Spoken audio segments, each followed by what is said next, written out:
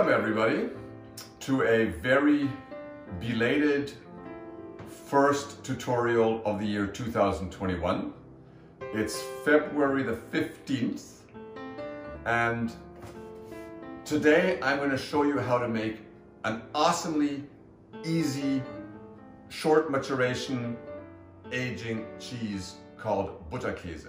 It's one of my favorites these days and pretty much to the date, six months ago, was the first time I tried making one at home. Six months later, I can do this thing without looking at the recipe book, and I, I, I, I can't get enough of it. It's a very easy cheese to make. It doesn't take a lot of aging. You can age it in your fridge. You can age it back sealed in a cold room. It's a very uncomplicated cheese, but it's a very, very, besides yummy and good tasting cheese, it's a very rewarding cheese. You can do so much with it. You can bake, you can slice, you can grate, you can melt. It's great for grilled cheese sandwiches. So it's an all-around cheese, but it's very mild, yet flavorful. Today I'm doing something different. I'm doing a 12 liter batch because I have this brand new semi-commercial cheese vat that I'm using. However, You can use any pot you want at home to heat your milk. So the temperatures you're trying to reach are rather low, always in their low to high 30s. This cheese needs 39 degrees Celsius. So you can do it in any pot that you have, put it on your stove top, and very, very gently and slowly heat the milk up. Preferably use a double boiler so that the milk surface doesn't get direct contact with the heat surface. But if you can't create a double boiler or if you don't have one, a simple pot with a, with a strong bottom, with a heavy, heavy duty bottom will work, okay? Like I said, I'm doing 12 liters.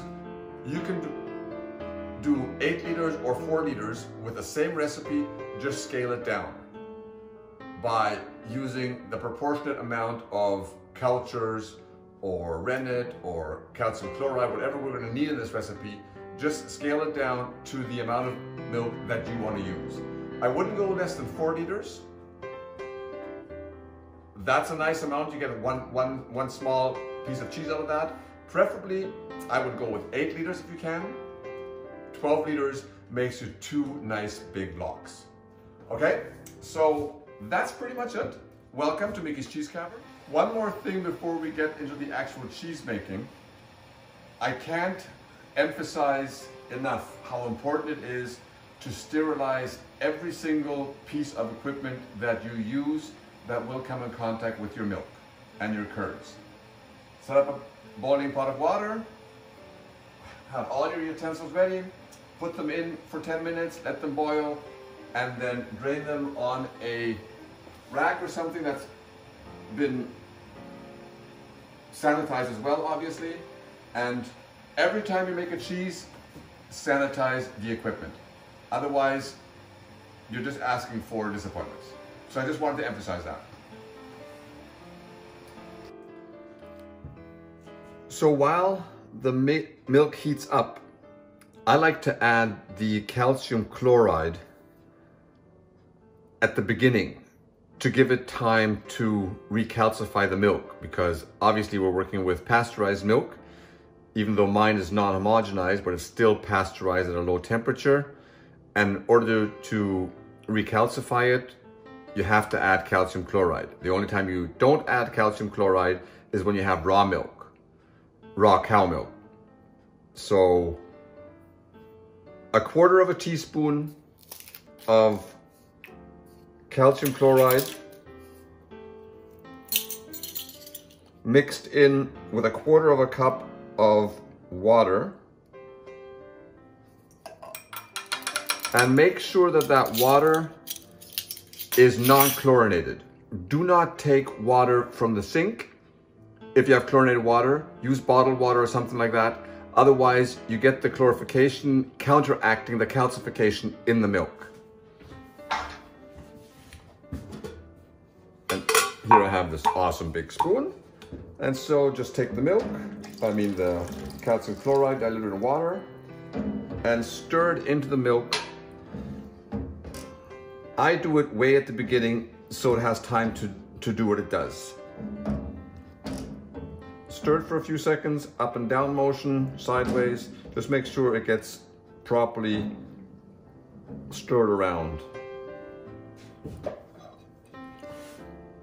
And that's it. And then let the milk heat up to 39 degrees. Butterkäse needs 39 degrees.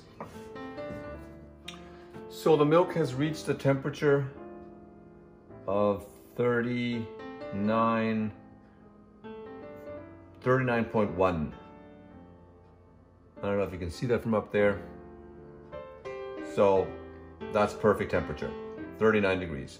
Okay, so now I'm going to add this.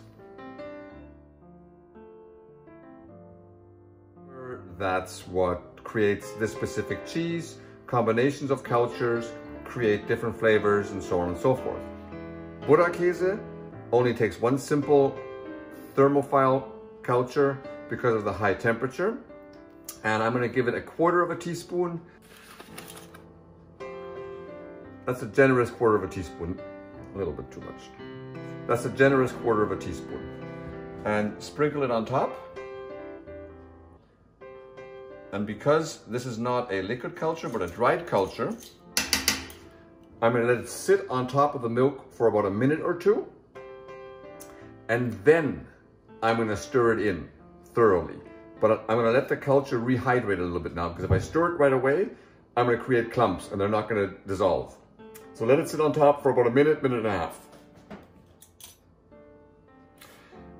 And once the cultures are stirred in, then we let the cultures do their work in the milk and put the lid back on, keep at the temperature, maintain the temperature of 39 degrees throughout the whole process. And we're just gonna let it sit and ripen for about 40, 45 minutes. Okay, this is enough. Now I can stir the culture in. I don't know if you can see that. There's the fat on top of my milk those fat bubbles because of the temperature now. And that's because my milk is non-homogenized. If you buy regular grocery store, three and a half, 3.8% organic milk, uh, homogenized, you won't get those fat bubbles. That's what you want, but you won't get them. So if you want good cheese, spend the money for good milk. Find non-homogenized milk. There's two or three brands in Quebec and Ontario that make non-homogenized milk. And that's as close as you'll get to buying raw milk in Canada.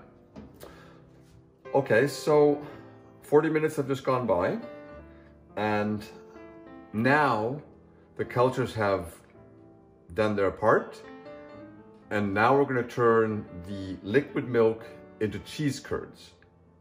So we're gonna add the rennet. I personally only use organic veggie rennet. I don't use animal rennet um, for several reasons. One of them being that this way my cheeses can also be enjoyed by vegetarians because the vast majority of cheeses are made with animal rennet, which unfortunately many people don't know. And I don't want to go down that road. So anyway, a quarter of a teaspoon of rennet, Oh, a half a teaspoon, sorry. Half a teaspoon of rennet.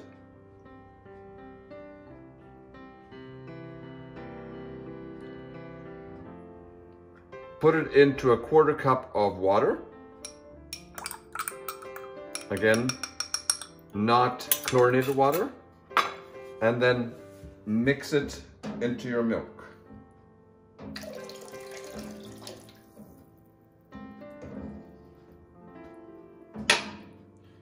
Make sure it's thoroughly mixed in because otherwise you'll have more curd building in one area and less in the other. So give it a stir for about a minute. And again, maintain the temperature of 39 degrees throughout the whole thing. The good thing is milk, if you keep the lid on, if you, if you do stovetop, if you just turn the element off, keep, put the lid on wrap your pot in a towel or something, you should be fairly steady with your temperatures.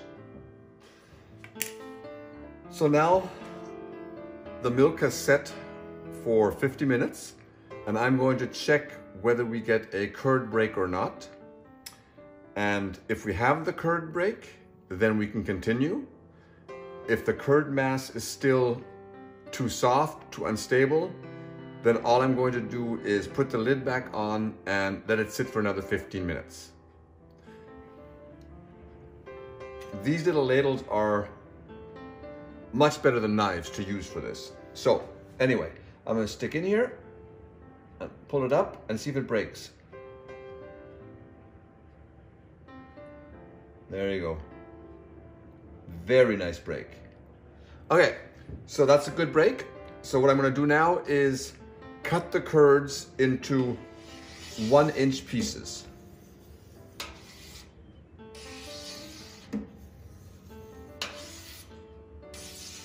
Just one inch in all directions. And the reason one inch pieces is because I don't want this cheese to be too dry. And the smaller you cut the curds, the more liquid whey gets released, now the other direction. And the more liquid whey gets released, the drier the cheese is going to be. And I want the, my Butterkäse to be nice and moist.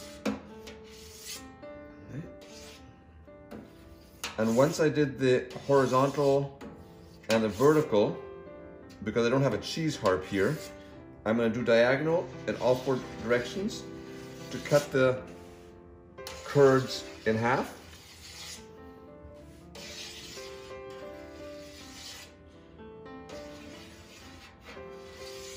Okay, and after this is done, you're gonna let it sit for about five minutes for the curds to heal. That means to close up again on the outside, so when we start stirring it, we don't lose too much whey. So put the lid on, wait five minutes. So the cheese has been, the curds have been sitting for five minutes now, and I'm gonna start stirring. Gently stir your curds for 15 minutes in order to release, release the whey out of your curds and to be able to make the cheese later. 15 minutes stirring for this specific cheese. And this is what it looks like when you go in for the first time. There are your curds. And you just gently break them up. That's what it's supposed to look like. Just gently break them up.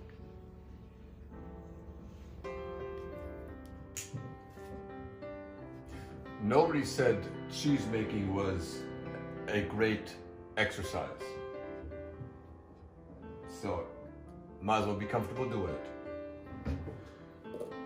Now comes an interesting step because the Butterkäse, what you do is you wash the curds.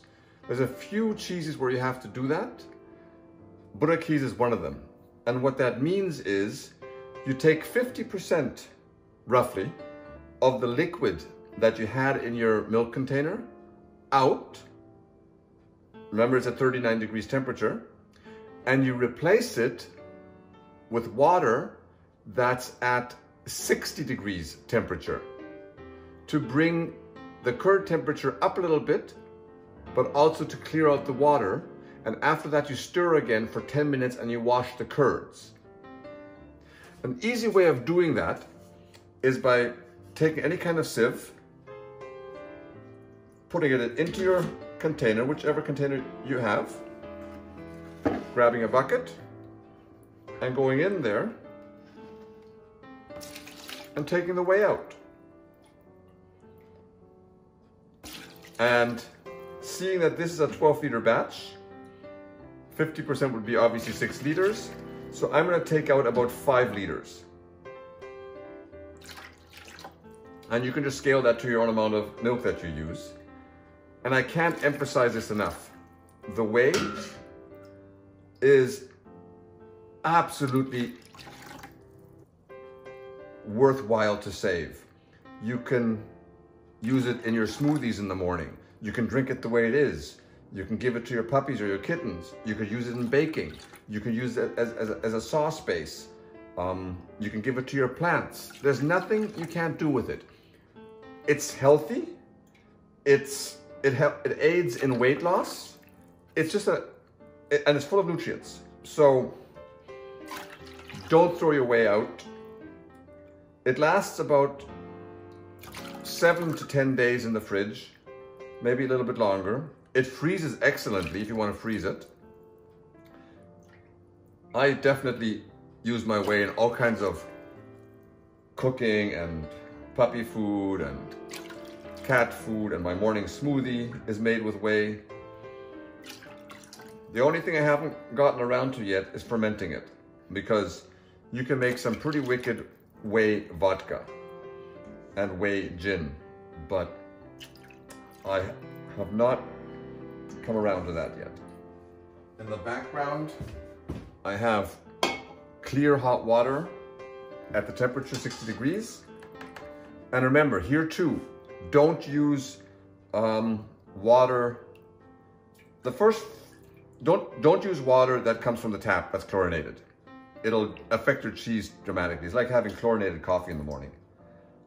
Use bottled water if you can. It makes this cheese a little bit more expensive because you have to have the bottled water there, but it is such a big difference. And you go in there and you start washing the curds.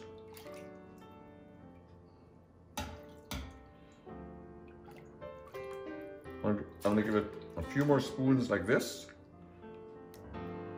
just to bring the temperature up a little bit.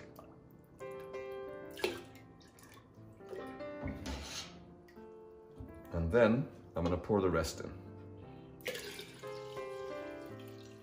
Let's see, I'm supposed to be around 43 degrees right now. 43 to 45, let's see what the thermometer says.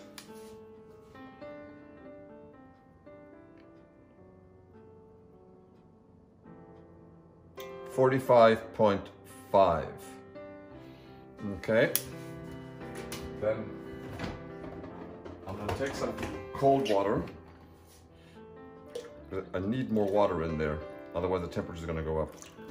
It's also just bottled water. There we go. That's all of it.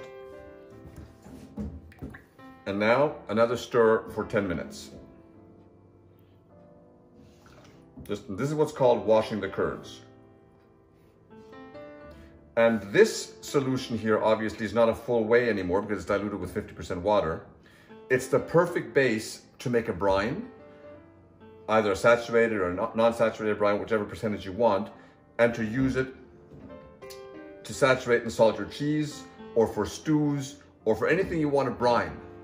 This is a perfect solution for brining. Okay, so I took two mason jars and put the put the um, pure whey in there. And now I stirred, I washed the curds for, for a good 10 minutes. I'm gonna put the, the sieve back in there and take out as much whey as I can, this time only in order to reach the curds. This is as far as I can get in there to get the whey out.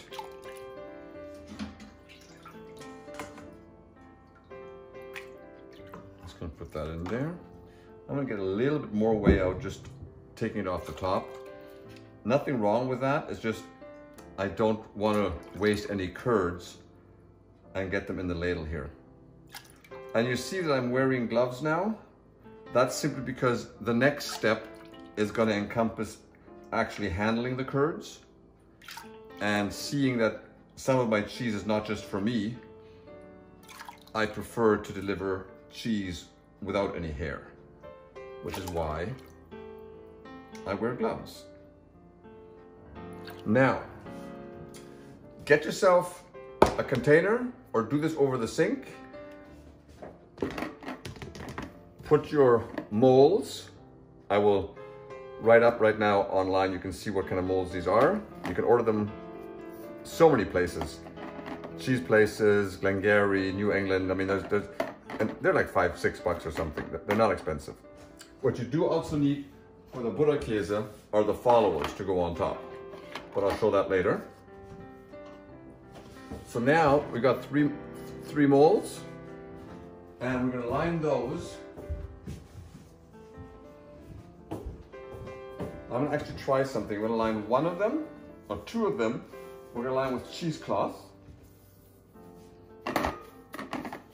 And one of them I'm not gonna line with cheesecloth, simply because I want to experiment with something today and see how these molds hold up if I don't use cheesecloth. Because supposedly I don't have to, but I haven't done that yet. So the next step is pretty simple. You take another ladle and you start getting your, your curds out.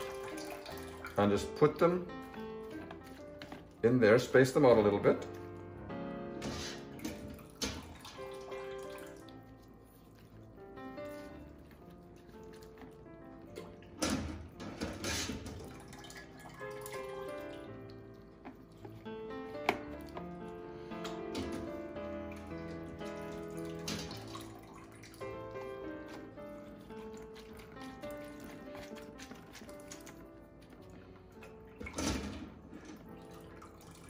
You just do all the way to the top.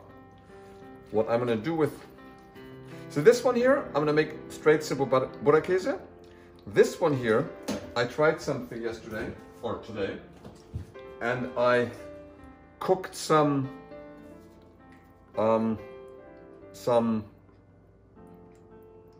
sun-dried tomatoes. So I'm gonna sprinkle some sun-dried tomatoes in here.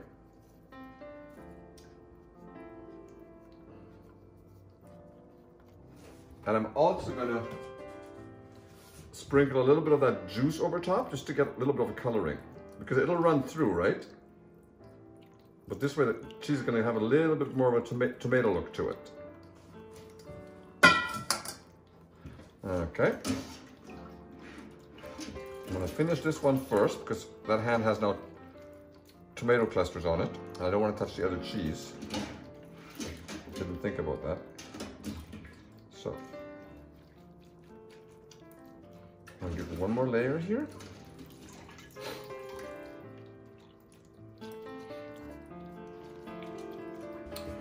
And I'm gonna put some, the rest of the tomatoes on top here. Spread them out.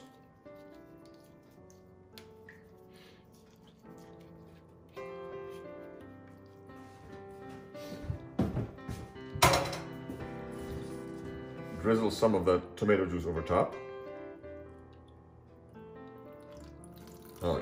That awesome. That's pretty much it. I'm gonna go quickly wash my hands now, rinse them off. Okay, now the, the rest of the curds.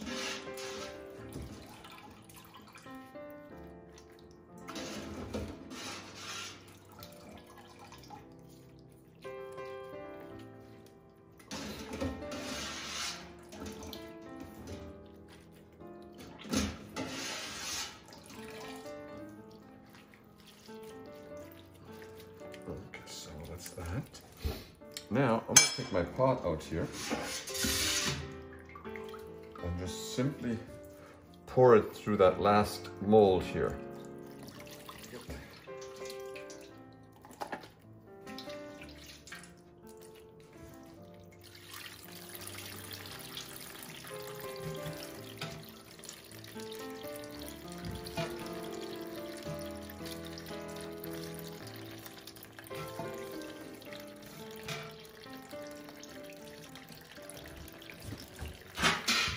Okay, so three different procedures.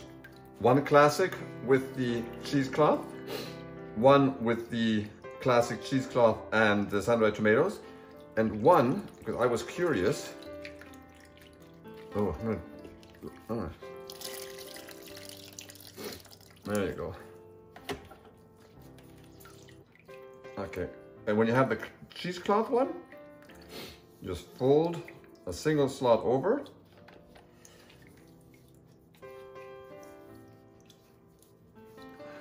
Okay, like that.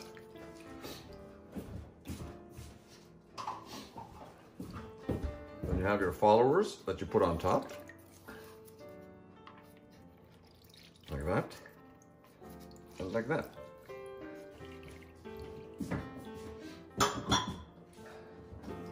Now, because these are going to be pushed down by weight, I shouldn't have to push them down too far, but I like just putting the mason jars on top and put that into the press. So this is what it looks like right now. I got the three cheeses between the boards and I have a 12 kilogram water bucket on top um, because I don't have any free weights. So otherwise, if you have weights, put weights on there. But this cheese needs 12 kilograms of pressure. And in 30 minutes, I'm gonna flip the curds once, and then they go back under the press for 12 hours. So the first 30 minutes are over. I took the weight off, and I'm gonna look at, I'm gonna flip one cheese. All three, obviously, but I'm gonna have a look at them first. Just unwrap them. This is the standard one.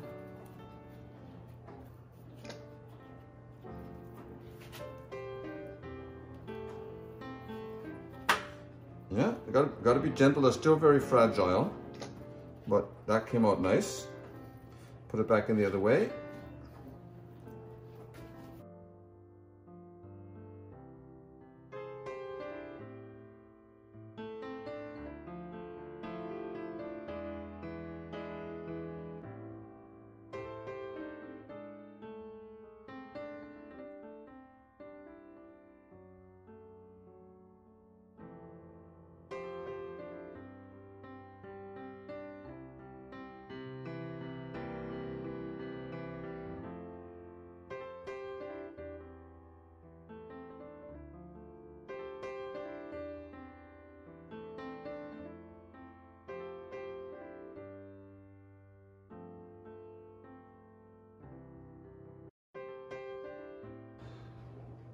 And that pretty much sums up the cheese making part.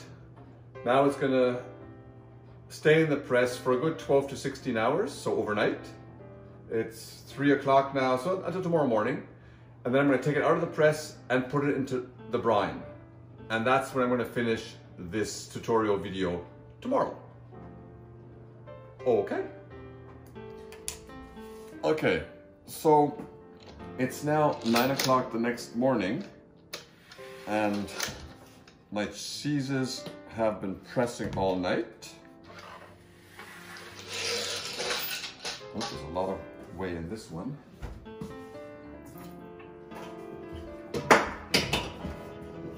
Let's see how they came out.